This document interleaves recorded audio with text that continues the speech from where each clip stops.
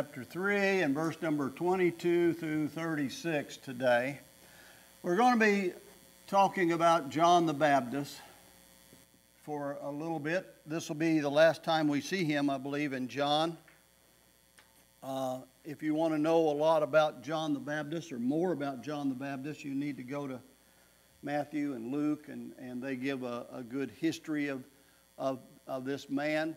Um, I say we're going to be speaking about John the Baptist. John the Baptist would tell you, uh, don't speak about me, speak about Jesus. And so we'll be doing a little bit of that too uh, this morning. Um, so if you'll read with me uh, in John chapter 3 and uh, verse number 22. And it says, uh, after these things, now what is that talking about? That's, of course, talking about what he's been discussing before the, the uh, his um, meeting with Nicodemus. And we've spent a lot of time on Nicodemus, and we won't be talking about him again until John chapter 7 and verse number 50, where he stood up for Christ um, eh, before the Sanhedrin. And then we'll be seeing him again in John chapter 19 uh, as he is with uh, um, um uh, Joseph of Arimathea helping bury Jesus and that'll be the two other times that we'll be seeing him. But he's out of the picture right now. John the Baptist. This is the last time we'll be seeing him uh, uh, because uh, we're going to be going more and more into the ministry of Jesus. And so here we go. After these things came Jesus and his disciples into the land of Judea, and there he tarried with them and baptized. And John also was baptizing in Aenon um, near to Salim uh, because there was much water there, and they came and were baptized. And John was not yet cast into prison. Then there arose a question between some of John's disciples and the Jews about purifying. And they came unto John and said unto him, Rabbi, he that was with thee beyond Jordan, to whom thou bearest witness, Behold, the same baptizeth, and all men come to him. John answered and said, A man can receive nothing except he, it be given him from heaven. Ye yourselves bear witness, bear me witness, that I said, I am not the Christ, but I am, but that I am sent before him. He that hath the bride is the bridegroom. But the friend of the bridegroom, which standeth and heareth him, rejoiceth greatly because of the bridegroom's voice. This my joy, therefore, is fulfilled. He must increase, but I must decrease. He that cometh from above is above all. He that is of the earth is earthy, and speaketh of the earth. He that cometh from heaven is above all and what he hath seen and heard, that he testifieth, and no man receiveth his testimony. He that hath received his testimony hath uh, uh, set, his, uh, set to his seal that God is true, and in whom God hath sent speaketh the words of God. For God giveth not the Spirit by measure unto him. The Father loveth the Son and hath given all things unto his hand. He that believeth on the Son hath everlasting life. He that believeth not the Son shall not see life, but the wrath of God abideth on him. This is John's last message uh, and, and John the Apostle has placed it here so that we can see what John's last message was and just who John was. Just to give you a, a little bit of a, a background again on John, because kind of like Nicodemus, this will be the last time we see him. John the Baptist was born to a, a man, a priest named Zechariah, and a um, a mother named Elizabeth. If you'll remember, Elizabeth was the cousin to Mary. Now, there's, there's, uh, you have to kind of get the picture. They're cousins, but they're of different families. Um, John is of the family of Levi. Jesus was of the family of Judah. If you follow the genealogies of Jesus in uh, Matthew, uh, and the genealogy in Matthew uh, begins with that Jesus was the son of David, and then he goes on down from Abraham all the way down the genealogy and presents the fact that, that Joseph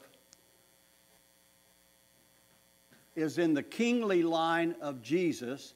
And he presents, Matthew presents Jesus as King of the Jews. And he shows out how that Jesus literally could have been King of the Jews had the king line continued.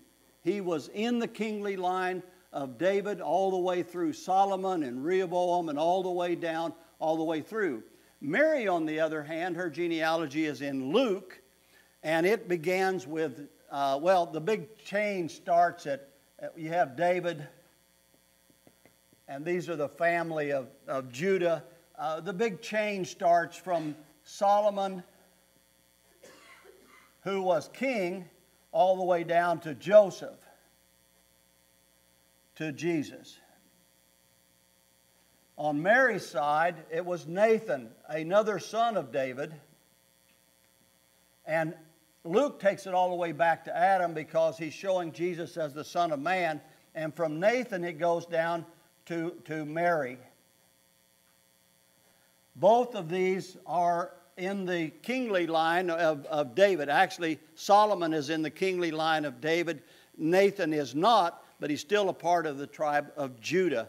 Um, but how did, how did Mary become a cousin to Elizabeth if Elizabeth is of the family of Levi?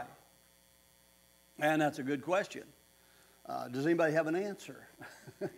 well, let, let, me, let me go back and, and, and, and maybe give you a little bit of a, a, a history.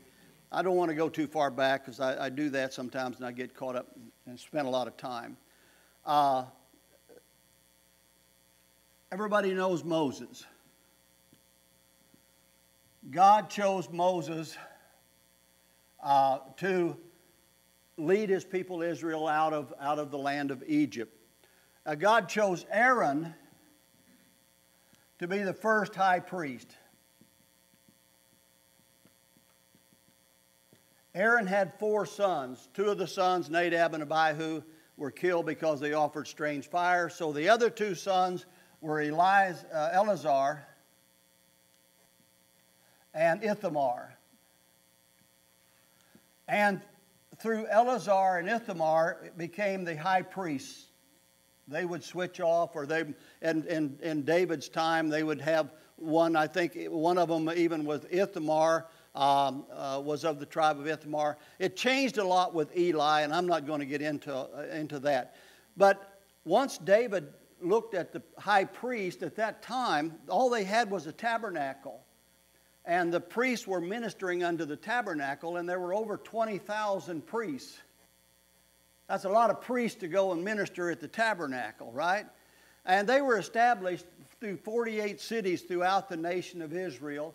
Uh, I think they had like 24 on, on the east side of Jordan and 24 on the west side of Jordan, and they would minister into the cities.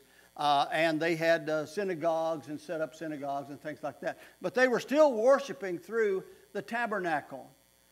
Eli, uh, if you remember, got the tabernacle stolen from him. His children were dumb enough to take it into a battle and lost it. David got it brought back. David wanted to build a house for God, and God wouldn't allow him to build a house for God. Two reasons. One, he numbered the people of Israel, which he should never have done. Uh, and, and the other was uh, he was a bloody king.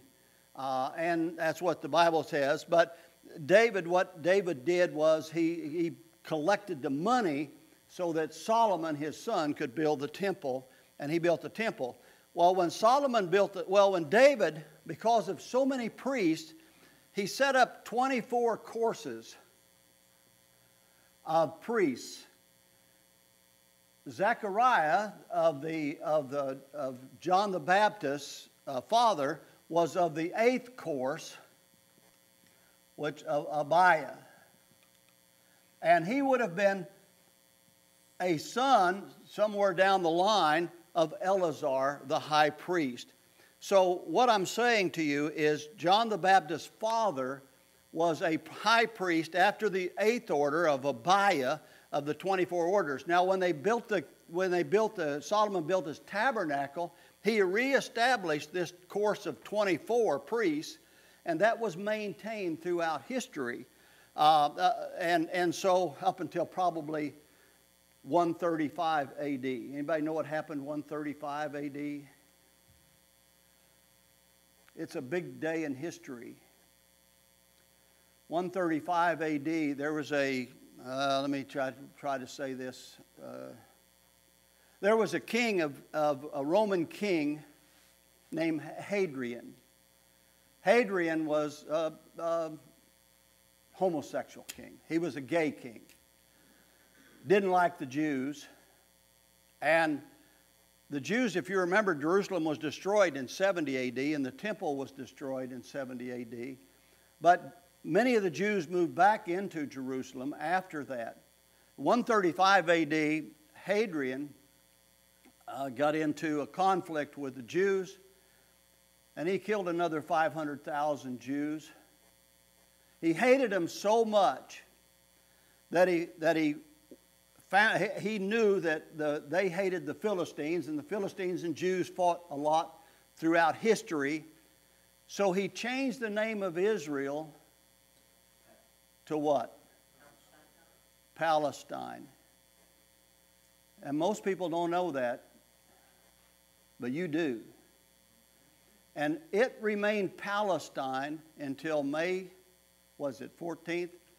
1948,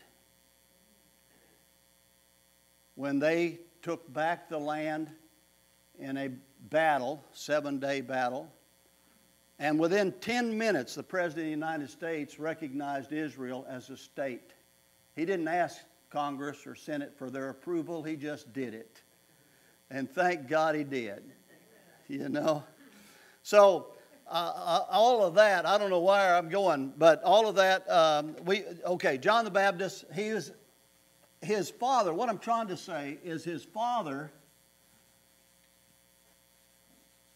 was of the eighth order. He was, he was high priest, and he really wasn't perhaps that great known, greatly known, or whatever, however you want to word it. But something happened. John the Baptist's father, uh, Zacharias, when his job was to go into the holy place, not the most holy.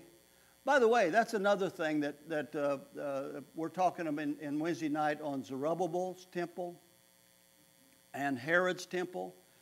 Does anybody know what's missing in that temple? Both of those temples. What's missing? What? Well, there you go. Two things then. Two things are missing. One, one thing that's missing is the Ark of the Covenant.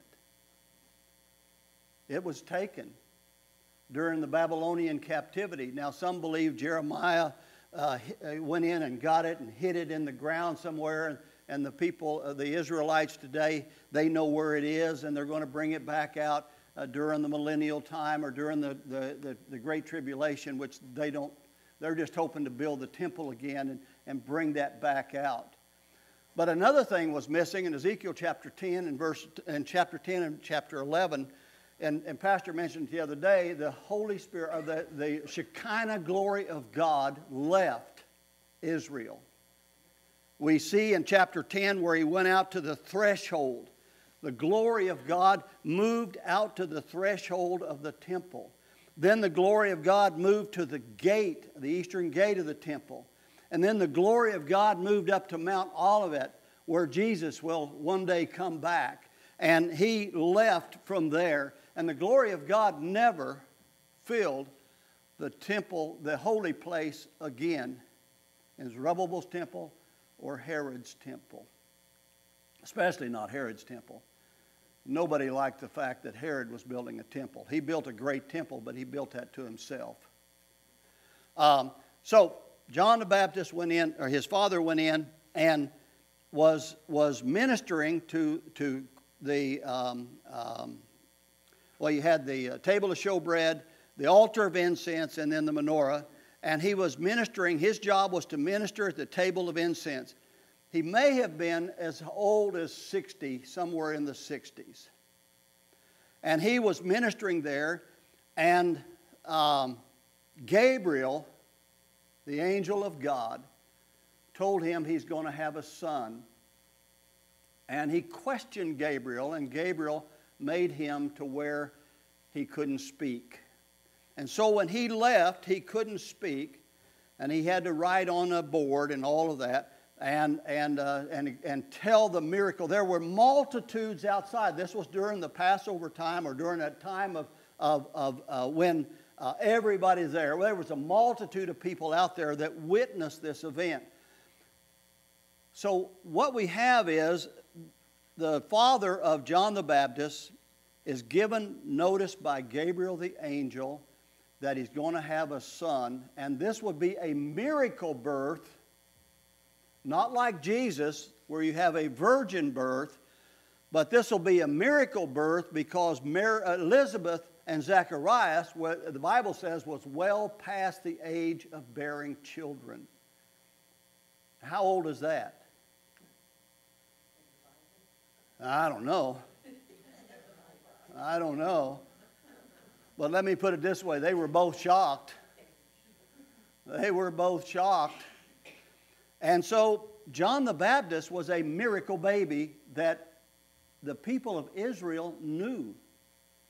Probably by the time John the Baptist began his ministry, both his mom and dad were, were probably passed. They are probably dead. So, John the Baptist, when he comes out, he was believable because he was the son of a miracle, a miracle born son of a high priest that was recognized as a great man because of his visit of Gabriel. Nobody, as I see in the Bible, nobody questioned that. John could not speak, and he couldn't speak for nine months, and didn't speak until he said, His name is John. And God opened up his mouth. So, John was a very important figure in that period of time. Now, John had went into the wilderness, perhaps after his parents had passed. Who knows what age, maybe in the age of 20 or so. And he had went into the wilderness, and through that time in the wilderness, he had received instructions from God. And, and he, the Bible says that he lived off of locusts and wild honey. And Leviticus chapter 11 says it's okay to eat locusts. Not for me, but for, for everybody else. Is not, okay? And so he, that's how he lived. He wore the, the garments of a prophet, camel hair, and a leather, girdle around his, his loins. Uh, and so he came out. I'll guarantee you he wasn't some big fat man, not eating what he eat. Uh, and, but he came out with the power of God uh, in his voice, in his demeanor, in his life, and he began to preach repent, repent, for the kingdom of God is at hand. Oh, to God today, preachers would preach that same message over and over and over and over and echo it through the halls of every church in the nation. Repent, repent, repent, for the kingdom of God is at hand. And that power of God was upon him, and he began to draw people. And as he drew the people, he would baptize these people after they had repented. Now, baptism at that time was accepted. As a matter of fact, as the, as the people would go to the Passover, they had uh, they had little baptismal pools. Uh, uh, uh, Rabbi Benjamin Mazar, Mazar, I think is his name, records that there was over a hundred, uh, like tubs and, and, and pools of water around the, the, the, the temple of Herod, where, and they were required to bathe themselves, to purify themselves before they went and, and partook of the Passover. Uh, and so uh, the Mikvid, or uh, let me see, M I K V E D, I think that's what it is. I may be mistaken. McVid. Um, oh, no, it's an H. Um, and uh, that, that's what those little pools were called. And, they, and the Bible, uh, their, their religion, their, their um, um, uh, well, the tradition was they had to be baptized in living water, which means a, a spring or a pool that was made up of a spring. Uh, they couldn't have, even today, they couldn't have tap water. It had to be a water that was from living water. And it was a, it was a sign of their purification before they would partake. So baptism was not something that they, John just brought on. What he did, though, was he required repentance before baptism. Never in the history of mankind was there ever anybody saved by being baptized. Y'all, y'all understand that, right? I mean, you're Baptist, that's something you ought to know. If you don't know that, then especially some of you folks are, some of y'all are older than me, and that's old.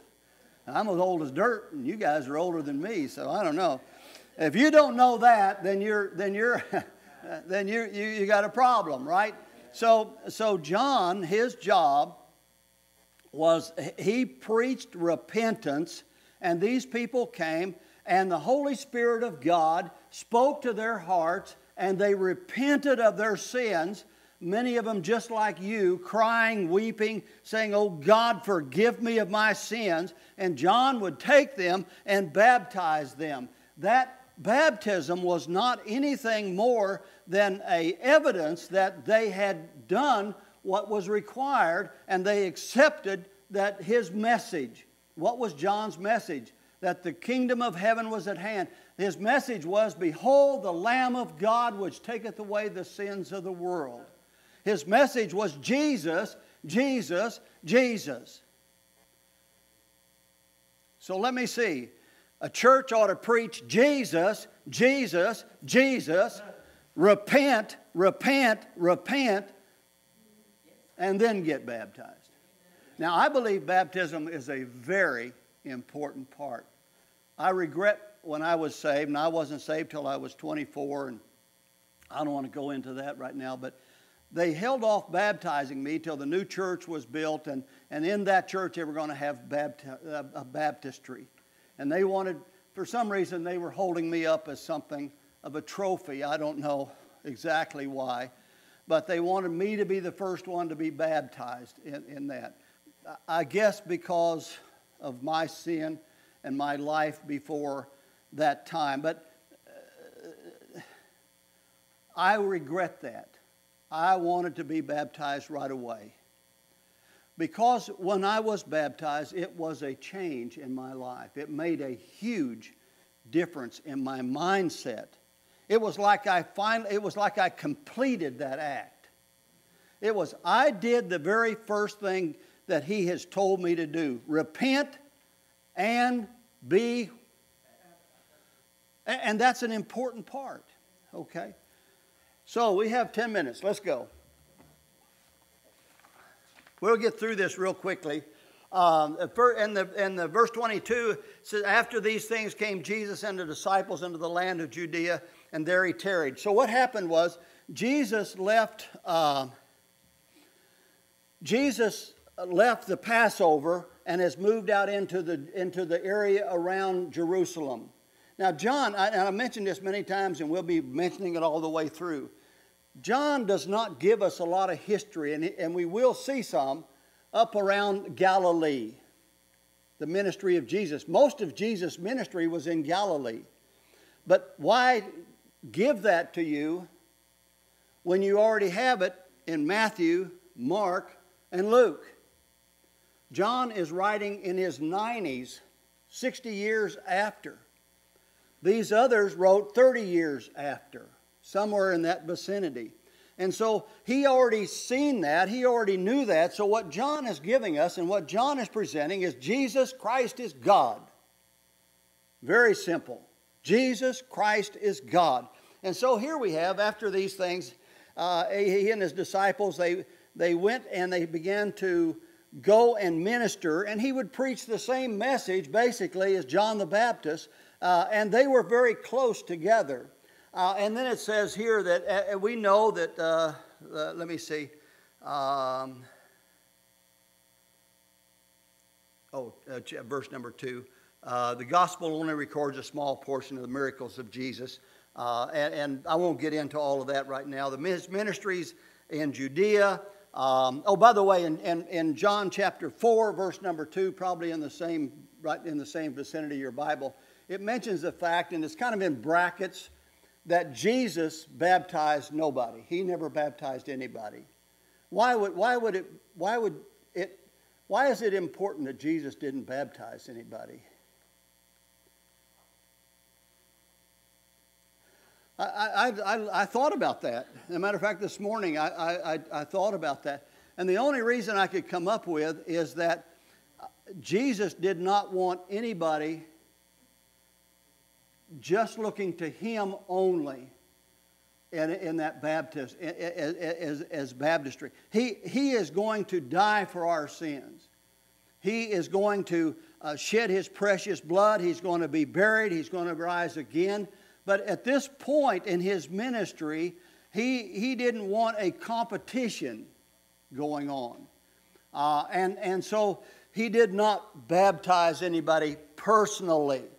Uh, I, I, mean, if he did, everybody would want to be baptized by Jesus. But most people still didn't know who he was.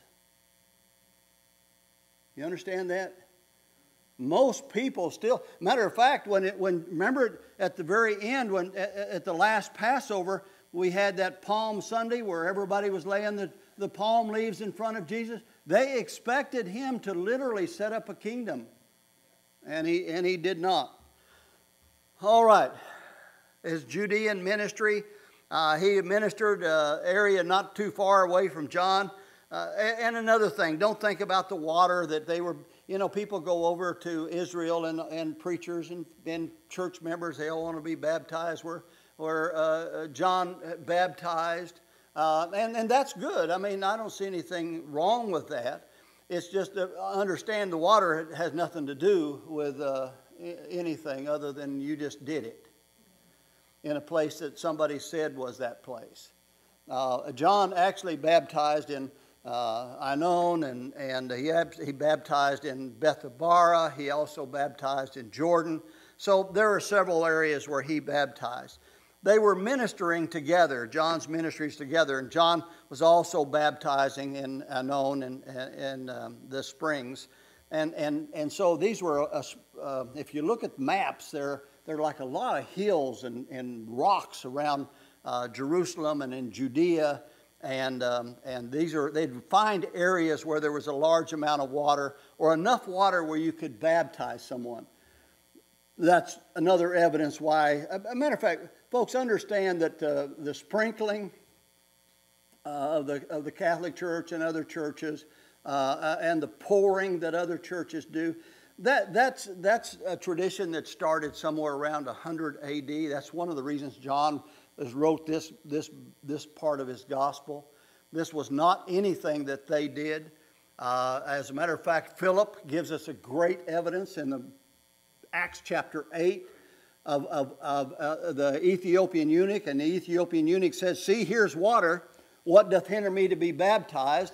And Philip said, If thou believest, believest you know, with all thine heart, thou mayest. And he says, Well, I believe that Jesus Christ is the Son of God. And they got out and they went both down into the water. He baptized him, and they went come back up out of the water. That's pretty good evidence. He could have went down and got a handful of water and threw it on him uh, if that was baptism. Right? Uh, that's not baptism. So there was much water there. Uh, verse 24 uh, John was not yet cast in prison. Um, and that which what, so, you know, in other words, this gives us a timeline. Uh, there's a controversy that arises over purification, and you can understand this because the Jews uh, were thinking about, well, okay, he's baptizing, so is, is, is his baptism better than Jesus, or is Jesus' baptism better than his? Which one purifies the best? All of these kind of things. They get all caught up in purification. Have you ever witnessed to somebody and you say, you, you say, you know, if you, if you were to die today, uh, do you know where you'd go to heaven or would you go to heaven if you have you ever witnessed to somebody and they said you know i went, I went to church when i was just a little boy and uh, what do you think about adam's first wife or cain's first wife or cain's wife or any question just to get you off the subject you understand what i'm saying what you have here is john's disciples and some of these Jews come up that, and um, his disciples were Jews too, so don't, there's no prejudice here. These, these religious Jews or these Jewish people come up, and the other Jews, they were talking about this and that. Rather than telling them about Jesus, they were talking about purification. And, and so this baptism was not the same baptism or purification that they were accustomed to in the temple. But what John tells them uh, right off the bat he said, they, matter of fact, here's another thing. They, they, they call him in verse number 26, they call him rabbi. John accepts that, but he does not accept Christ. I am not the Christ. I'm a teacher, but I am not the Christ. Uh, and his last recorded message, verse 27 through 34, John answered and said, A man can receive nothing except it come from heaven. Uh, basically, he's saying, I could not preach today unless God gave me that power to do that. That's, that was a, that's what God gives people that they might preach. Ye yourselves bear witness that I said, I am not the Christ, but that I am sent before him. Uh, he that hath the bride is the bridegroom, but the friend of the bridegroom, which standeth and heareth him, rejoiceth greatly because of the bridegroom, and this my joy therefore is fulfilled. Pastor Terry, you are you are you are the bride of Christ. His job as the friend of the bridegroom is to teach you and, and, and help you uh, to, to learn of Christ and to glorify Christ and to lift up Christ and to live a, Christ like life. And because of that, he wants to, Paul says, I'm jealous over you um, uh, I, I want to present you as a chaste, a virgin bride to Christ. In other words, every minister wins people to Christ, or should be winning people to Christ, and those people he gathers together and builds a church. He loves those people, he nurtures those people, he ministers to those people, all that he might present them to Christ as a chaste virgin people that love Jesus. That's what the goal of a minister is. Um, and I'm going to be running out of time here, real quick. Um, I must increase, he must decrease. You know what? The more you read the Word of God, the more you elevate Jesus. The more you pray, and I go over this all the time. When I would go to my Father and ask for something, just the very fact I went to my father and asked for something, I elevated him because I'm recognizing him as the one to, that can provide it. When you go to God in prayer, every time you kneel down, and, or whether you're sitting, kneeling, laying, wherever, you go down and you, you, you go and say, God, help this person, or God, heal this person, or God, work in the life of this person. God, bless the pastor. Whenever you do that, you have elevated God. Only He can do that. So you have lowered yourself. I must decrease. He must increase. The more you study the Word of God, the more you learn of God, the more faithful you are to the house of God, the more you lift up God.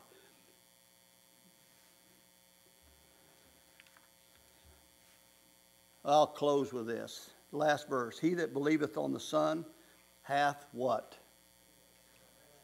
Everlasting life. Yeah, what is it? You're in the Father's hand, and, uh, and, and you're in Jesus' hand, Jesus in the Father's hand, and then some idiot says, Well, yeah, but you can jump out. I mean, I mean it's like some people are brain dead. You're going I mean, God can't hold me.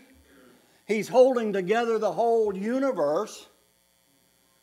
The reason we don't spin off into, into eternity, off uh, uh, out into never, never land, is because God controls all of this, and I'm going to say that He can't control my salvation.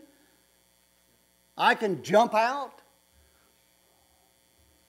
Well, and he that believeth not the Son shall not see life. John was one of them hellfire and brimstone preachers because he goes on and says, And the wrath of God abideth on them. If you go to Matthew and read the third chapter, the first 10, 15 verses of Matthew, you'll see the message and the power of John the Baptist. And he talks about repentance, but he also talks about burning.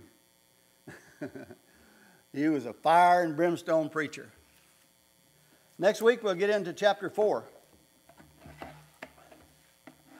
So let's bow our heads in prayer. Father, thank you for today. Ah, Lord, I pray you'll open our hearts to receive the message of the pastor this morning. I pray this morning you'll empower him with only the power that you can give. That he might open, break open the bread of life and that we might learn of thee, Lord, that he might glorify you, that he might lift you up, that all of us might see, not only see him, but see ourselves in the light of him. Father, I pray for your blessings today. In Jesus' precious name. Amen.